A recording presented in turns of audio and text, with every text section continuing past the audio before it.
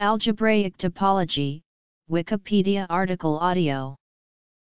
Algebraic topology is a branch of mathematics that uses tools from abstract algebra to study topological spaces. The basic goal is to find algebraic invariants that classify topological spaces up to homeomorphism, though usually most classify up to homotopy equivalence. Although algebraic topology primarily uses algebra to study topological problems, using topology to solve algebraic problems is sometimes also possible. Algebraic topology, for example, allows for a convenient proof that any subgroup of a free group is again a free group. Main branches of algebraic topology Homotopy groups Below are some of the main areas studied in algebraic topology. In mathematics, homotopy groups are used in algebraic topology to classify topological spaces. The first and simplest homotopy group is the fundamental group, which records information about loops in a space. Intuitively, homotopy groups record information about the basic shape, or holes, of a topological space. In algebraic topology and abstract algebra, homology is a certain general procedure to associate a sequence of abelian groups or modules with a given mathematical object such as a topological space or a group.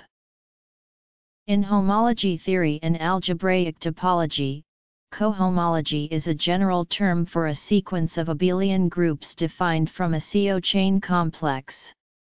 That is, cohomology is defined as the abstract study of cochains, cocycles, and coboundaries.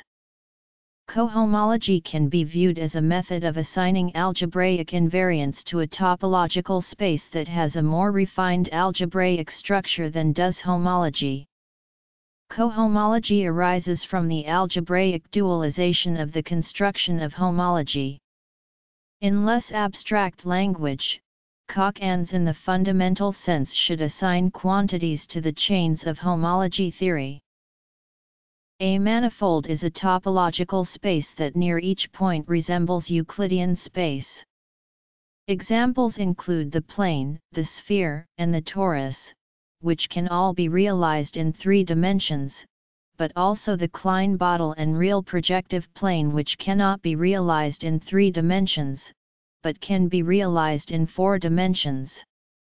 Typically, results in algebraic topology focus on global, non-differentiable aspects of manifolds, for example Poincare duality.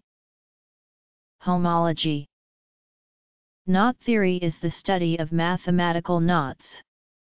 While inspired by knots that appear in daily life in shoelaces and rope, a mathematician's knot differs in that the ends are joined together so that it cannot be undone. In precise mathematical language, a knot is an embedding of a circle in three-dimensional Euclidean space, R3. Two mathematical knots are equivalent if one can be transformed into the other via a deformation of R3 upon itself. These transformations correspond to manipulations of a knotted string that do not involve cutting the string or passing the string through itself. A simplicial complex is a topological space of a certain kind, constructed by gluing together points, line segments, triangles, and their n-dimensional counterparts. Simplicial complexes should not be confused with the more abstract notion of a simplicial set appearing in modern simplicial homotopy theory. The purely combinatorial counterpart to a simplicial complex is an abstract simplicial complex. Cohomology A CW complex is a type of topological space introduced by J. H. C. Whitehead to meet the needs of homotopy theory. This class of spaces is broader and has some better categorical properties than simplicial complexes, but still retains a combinatorial nature that allows for computation. An older name for the subject was combinatorial topology, implying an emphasis on how a space X was constructed from simpler ones. In the 1920s and 1930s, there was growing emphasis on investigating topological spaces by finding correspondences from them to algebraic groups, which led to the change of name to algebraic topology. The combinatorial topology name is still sometimes used to emphasize an algorithmic approach based on decomposition of spaces. In the algebraic approach, one finds a correspondence between spaces and groups that respects the relation of homeomorphism of spaces. This allows one to recast statements about topological spaces into statements about groups, which have a great deal of manageable structure, often making these statement easier to prove. Two major ways in which this can be done are through fundamental groups, or more generally homotopy theory, and through homology and cohomology groups. The fundamental groups give us basic information about the structure of a topological space, but they are often non-abelian and can be difficult to work with. The fundamental group of a simplicial complex does have a finite presentation. Manifolds Homology and cohomology groups, on the other hand, are abelian, and in many important cases finitely generated. Finitely generated abelian groups are completely classified and are particularly easy to work with. Knot theory In general, all constructions of algebraic topology are functorial, the notions of category, functor, and natural transformation originated here.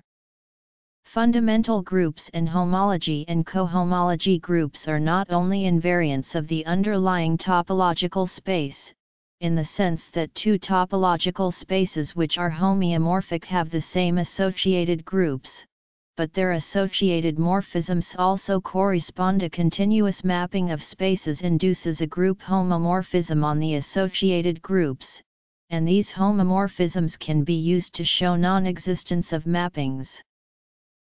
Complexes One of the first mathematicians to work with different types of cohomology was Georges de Rham.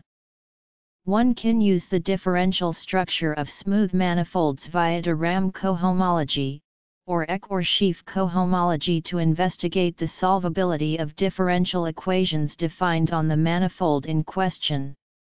De Rham showed that all of these approaches were interrelated and that, for a closed, oriented manifold, the Betti numbers derived through simplicial homology were the same Betti numbers as those derived through de Rham cohomology. This was extended in the 1950s, when Eilenberg and Steenrod generalized this approach.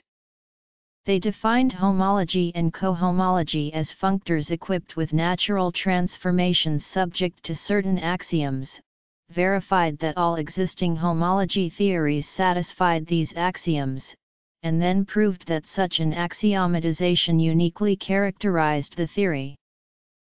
Classic applications of algebraic topology include Method of algebraic invariance Setting in category theory Applications of algebraic topology The Brouwer fixed point theorem Every continuous map from the unit n-disk to itself has a fixed point.